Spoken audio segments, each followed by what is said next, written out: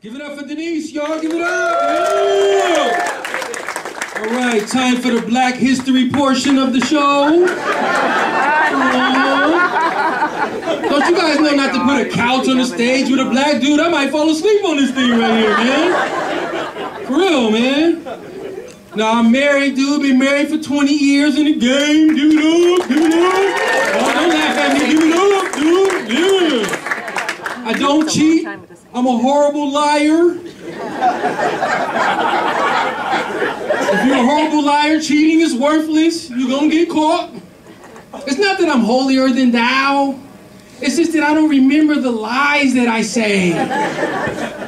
Like, I won't forget where I was. I just don't remember where I said I was. There's a difference, right?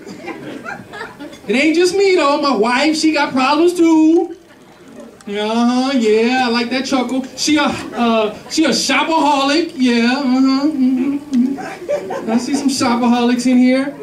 Man, I didn't realize it at first, right? Being married for 20 years, you slowly see things happen. One time I walked in the room, I looked in the closet, and she had so much stuff in the closet that the wooden bar in there was bending like a motherfucker. It looked like a fat ass bottom lip just hanging.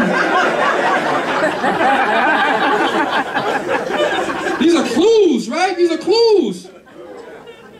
I thought she was cheating on me. Two nights a week, she was leaving the house at 9.30 at night. Where the hell are you going at 9.30? Talking about I'm running errands. No, the bank is closed. The phone company is closed. Where are you going? Now look, I ain't no follow you type guy, right? I'm not. That's not my get down. But if you leave the house twice a week, at 9.30 at night, eventually I'm gonna follow you. Damn, what can I do, right? So I'm following her. She's going out the house like a bat out of hell. She's running all these yellow lights, which means I'm running red lights. I'm like, damn, slow down. Don't give me no ticket while I'm following you. That's not cool. So I'm following her, right? I think she's gonna pull up into some dude's driveway or to some club. No. She pulled into the TJ Maxx parking lot. I said, damn, she fucking somebody from TJ Maxx? Oh. This fool better be the manager. At least in the management trainee program. No stock dude. So I get out the car. I'm like, damn. I get out the car, follow her, step up to the window and look in, and she's actually in there shopping. And she ain't the only one. You go shopping at 9.30 at night on a weeknight, twice a week, you've got a problem. So when she got home, I said, you know what? This has got to stop. You got to get rid of some stuff. I'm going to leave here for an hour, come back. I better see some piles of clothes on the floor right here, right now. I leave, come back. She had three trash bags worth of stuff. First, I had to check to make sure it wasn't my shit in them bags.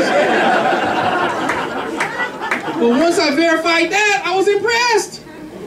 You know, look at them. You, you gave away your husband's stuff. That's what happened, huh? Yeah. Uh-huh. I was impressed. Was like, baby, you listening to me. I see this is a marriage. You love me. That's why this is special.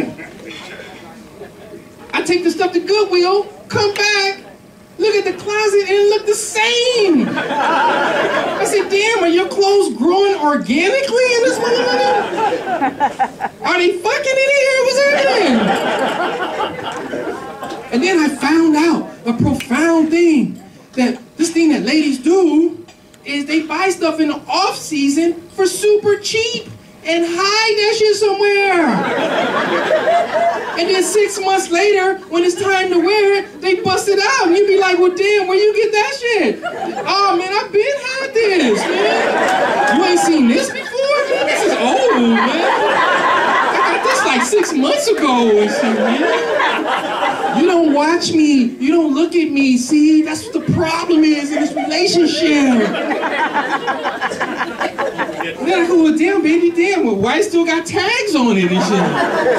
I look at the tag. She had on some nice J. J. Crew khaki pants that cost hundred dollars. It was marked down to nine ninety nine. I was impressed. I was like, damn, why you didn't give me none? damn, why you in there? nah, anyway, I think I got the lights in it. All right, man, I'm out, y'all. Mike Robertson.